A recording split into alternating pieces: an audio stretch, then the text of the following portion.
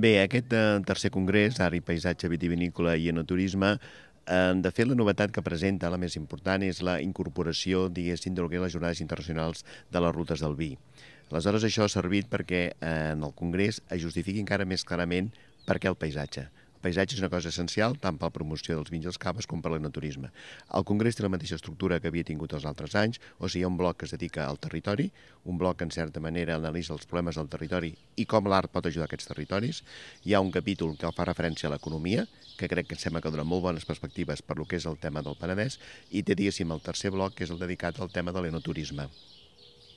Uh, com us deia, la incorporació del turisme pues, uh, permet visualitzar més per què la importància del paisatge per promocionar els vins i els caves, però també promocionar el turisme, que és uns, uns ingressos extras, en certa manera, i perquè l'art. L'art és una forma, en certa manera, d'apropar-se al paisatge, dignificar-lo, comprenent-lo, i també serveix per explicar el que podríem dir a l'intangible. Eh, un altre aspecte important del Congrés d'aquest any és la seva voluntat de projectar-se a l'exterior a través d'unes accions efímeres i la presentació de, de, de Miravinya, que són cinc, eh, cinc eh, miradors que s'han fet conjuntament els projectes amb els consorcis que ho tirem endavant. O sigui que podríem dir que és un congrés